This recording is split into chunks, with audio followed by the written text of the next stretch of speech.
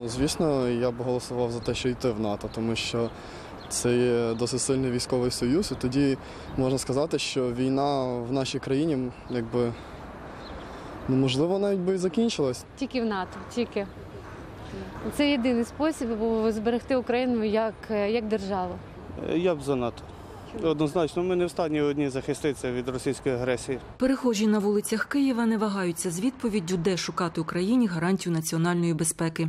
Якби зараз відбувся референдум про членство в НАТО, він був би впевнено виграний, кажуть соціологи. Кардинальні зміни настрою відбулися після агресії Росії.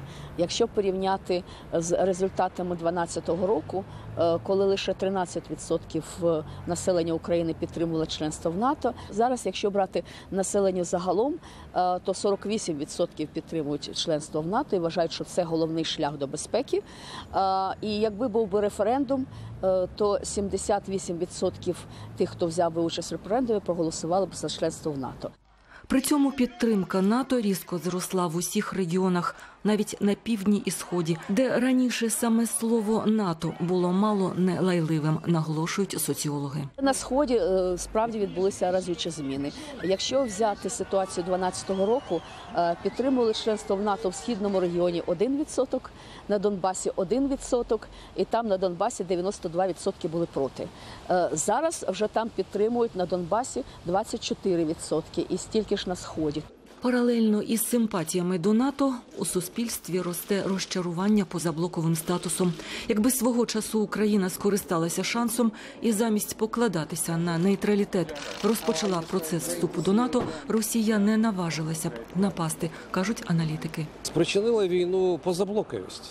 Я вважаю, ми себе оголосили позаблоковими таким чином е, показали Росії, що ніхто нас не захищає. Е, Зрештою, це і е, так би мовити, посилило апетити Росії. Вона була впевнена, що легко справиться з Україною в такому стані. Раніше вступ не відбувся, бо не було народної підтримки.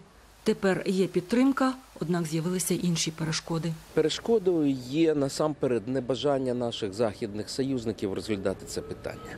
Так, тобто вони бояться просто Росії. Попри бажання українців про вступ до НАТО в сьогоднішній ситуації залишається тільки мріяти. Водночас дедалі гучніше лунають пропозиції таки провести референдум. Практично значення воно не матиме. Ми це розуміємо. Бо грузини провели такий референдум в 2008 році, і ну що, так.